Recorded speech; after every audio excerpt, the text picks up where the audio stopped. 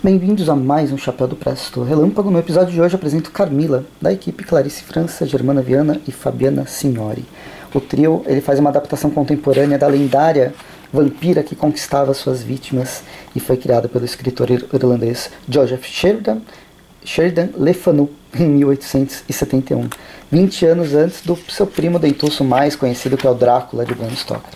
Olha só um pouco da arte né, da, da Germana Viana.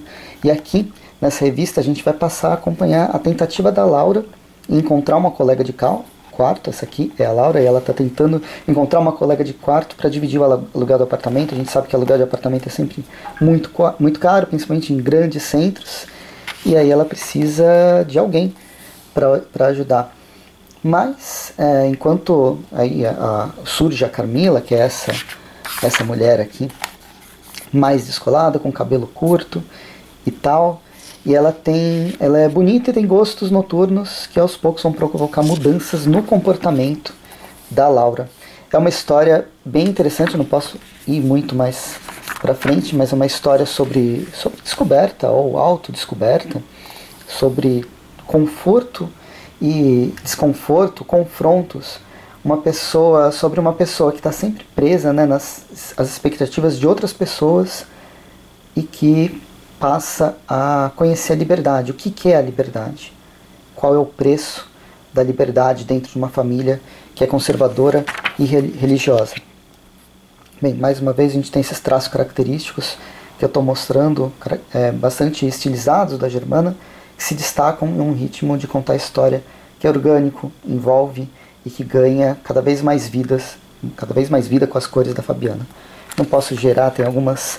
Ela é para maiores de 18 anos, então tem algumas cenas mais intensas que eu não poderia ficar mostrando. Não sei se o YouTube vai gostar, mas é uma história bem legal, acho que vale a pena é, ir atrás. Carmila, Clarice França, Germana Viana e Fabiana Signori. Espero que vocês tenham gostado do vídeo. Bem, comentem, a gente conversa nos comentários. Até mais e bons quadrinhos. Bem-vindos a mais um Chapéu do Preço. No episódio de hoje eu apresento o terceiro volume do Casa das Histórias, que é uma antologia de horror nacional que foi criada pelo Luan Zuck. É uma série bem legal que vem crescendo a cada edição. Ela sempre traz, né, o Luan Zuck sempre convida vários artistas para compor cada uma das edições e que vem aumentando de número de páginas. Se vocês acompanham o canal, vocês foram, foram vendo. Aqui, inclusive, já é uma, uma lombada quadrada, porque tem cerca de 60 páginas de histórias. Bem, nessa edição a gente tem cinco é, histórias que são apresentadas por diferentes autores.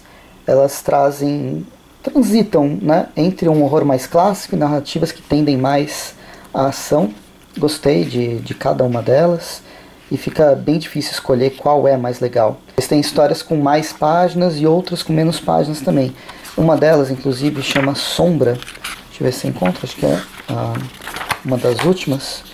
Ela, por ter mais história, dá mais tempo né, de, de desenvolver os personagens, os acontecimentos, o horror, dá pra, dá pra criar com uma forma mais, é, mais é, com uma lentidão que te dá mais medo. Aqui é do da Rossano é, Sega, Sega, Segabinazzi, com a arte e letras do Luan Zucchi. Por outro, a gente tem histórias é, bastante menores e elas precisam encontrar maneiras de se resolver em pouquíssimas páginas. E mesmo assim, elas funcionam. Lugar Nenhum, que é da, da Louviera, ela traz uma reflexão sobre passado bastante, é, bastante interessante aqui. A última história, ela é praticamente uma, ela é uma, uma história muda, né? E mesmo assim, a gente tem uma forma completamente imersiva, imersiva sobre refletir sobre o passado, que não assombra. Né? Pensar sobre o passado não é tentar buscar o que te assombra, mas sim o que liberta. Bem interessante. Não posso deixar de comentar ah, sobre a história aquilo que aquilo que vemos tem é um noir praiano gaúcho, que é essa história aqui que tem é do Jader Correia e ela tem obviamente referências Lovecraftianas, né? Ela consegue criar uma atmosfera de horror bem, bem interessante. Enfim, esse foi Casa das Histórias, acabei falando quase de todas indo e voltando. Espero que vocês tenham gostado do vídeo. A gente conversa no próximo, no próximo vídeo. Quero saber de vocês se vocês já leram ou não. Se for alguma atrás de algum desses, desses autores, acho que vale bastante a pena. A gente se vê no próximo episódio. Até mais e bons quadrinhos. Episódio de hoje eu trouxe Retratos Brutos do Rogério é, Faria e Tom Albuquerque, que saiu do selo Contravenção da editora Draco. É um selo interessante, que é um selo voltado para principalmente para eventos, para ser encontrado em eventos e a ideia é que ele seja mais barato, seja mais acessível. Para isso, as histórias são bem pequenininhas, em branco e preto. a revista tem cerca de 24 páginas, 30 no máximo. Já comentei sobre outras histórias do selo Contravenção e elas sempre são de ação ou terror, principalmente. Bem, nesse caso, a gente vai encontrar a história, a gente vai acompanhar a história do Máximo, um fotógrafo aposentado que era fã do sobrinho desde que ele era criança e anos depois ele é assassinado.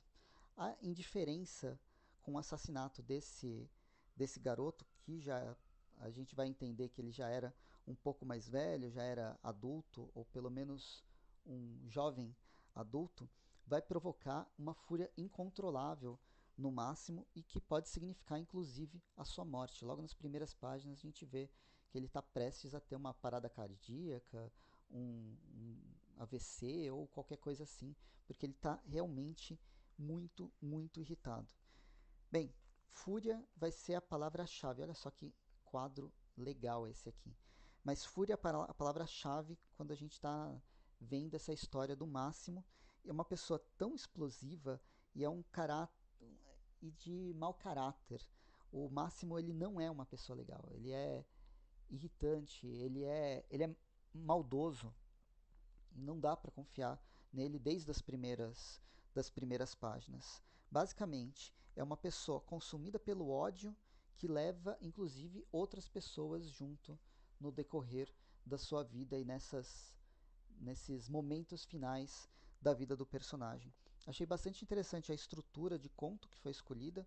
Acaba sendo uma história perfeita para ser um, uma chama, uma chama que é, é acendida e né, acesa e vai se apagar a qualquer momento. A gente não precisa saber o que aconteceu logo de cara, mas tudo que é necessário para entender quem é o Máximo, quem é o sobrinho dele, o que está acontecendo nessa, nessa situação, ele é mostrado. Mostrado aos poucos, mostrado a conta-gotas, mas a gente vai. É, é, é compreensível, não, não fica nenhuma ponta solta para a gente entender quais as, as motivações e quais os medos desse personagem eu achei bem interessante porque essa escolha acaba dando um ritmo intenso, que é acrescido ainda mais pela construção do personagem, que rapidamente se mostra ao leitor como alguém perigoso que cultivou tanto ódio na, na, na própria vida ou durante a vida, que, bem, é uma pessoa que a gente não vai querer encontrar pela rua. Enfim, esse foi Retratos Brutos, espero que tenham gostado da, da história. Espero que tenham gostado do vídeo. A gente se vê no próximo episódio e bons quadrinhos.